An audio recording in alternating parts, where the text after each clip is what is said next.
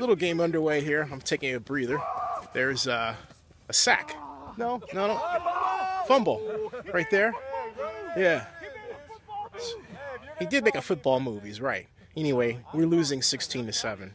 Uh, the team with Mike Silvers on is winning 16 to 7. And we're having a lot of fun.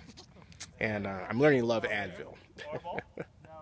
I'm taking a bit of a social media timeout, which I call a hip break, because my hip is killing me down there. It's like, ah!